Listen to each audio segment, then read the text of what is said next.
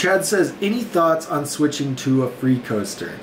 Chad, my biggest thing, I don't personally love free coasters because they have slack. And what I mean by that is when you're riding your bike right now with the cassette, um, here, let me go here, make sure you guys can see me. When you're riding your bike with the cassette and you pedal, like that tire instantly starts moving. See how it's instantly moving? That's cool. I like that. Now, what happens with a, uh, a free coaster is when you pedal, it goes about half a crank or depending on how much you adjust it of slack. So there's nothing happening from here until you get to that point and then the wheel's gonna spin.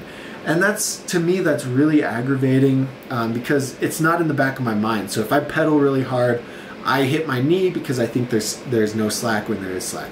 Um, so I really urge people to get a free coaster but keep their cassette throw the free coaster on, ride it around, see what you love about it, see what you hate about it, and then decide if you want to ride that full time or not.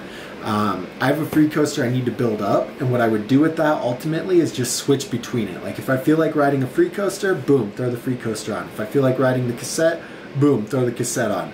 And um, and then just switch back and forth. That's really my best recommendation on it because they're uh, they're different and you need to get used to them first. They're going to make some tricks easier, but they're also going to make some tricks a lot harder.